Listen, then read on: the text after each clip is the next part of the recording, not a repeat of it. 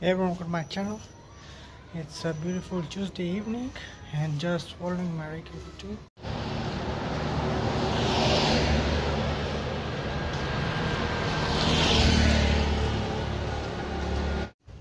So now i've reached the ground and not much people over here.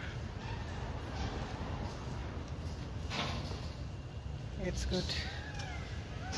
So i'm sweating complete right now enjoying the run and the jogging.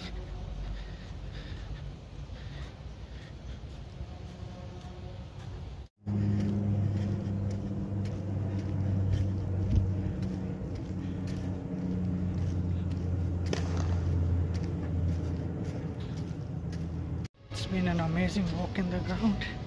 I'm completely sweating a lot. And now I'm going to Anand's to collect my meal. Daniel Cabo.